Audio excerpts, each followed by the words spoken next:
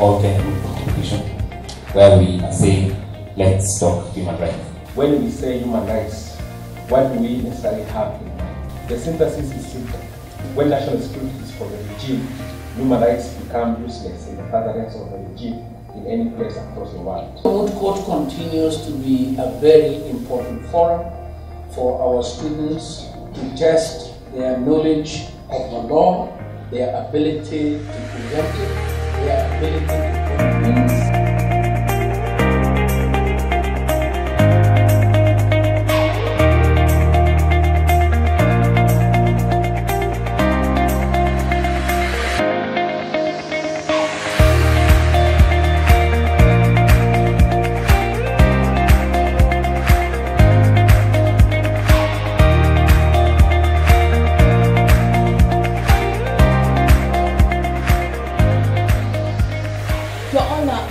alluded to paragraph 21 of the fact sheet, which put the Republic of Nadia at the UN watch list on matters of enforced disappearance.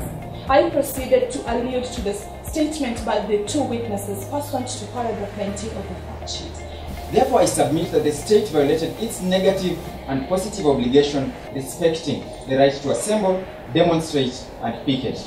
And thus, Your Honor, if we were not granted these orders, that the actions of state actors to quell the demonstration violated the right to assemble, demonstrate, and picket. The court is well within its rights to issue an order of habeas corpus. are rights enforced horizontally or vertically.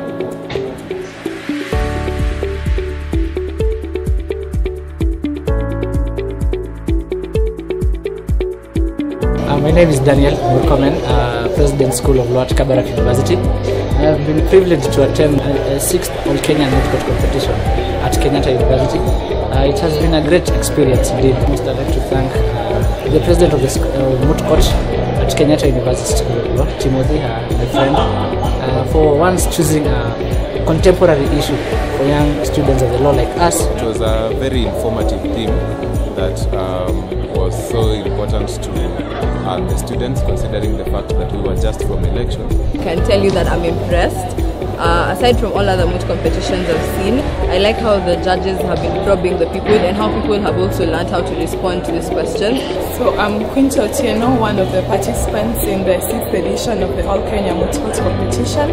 And my experience in this regard has been such a wonderful and learning experience. It has, it has been experience of trying to understand the aspects of human rights better. and all the participants have tried to actually argue out both sides and the uh, the striking a balance between the four is actually stipulated under article 20 In summary, it has been a good experience. Thank you. It was a nice day for both uh, Kenyatta University and Kabarak University. I believe that we should be continuing such such competitions. Kabarak University will always uh, purpose to attend that compete. Uh, thank you. Very good uh, moot competition and everything is fair and in accordance with the rules and regulation of this particular moot thank you so much I can't wait to see all these people who are converged here becoming great lawyers in the long run. Yes. Bye bye.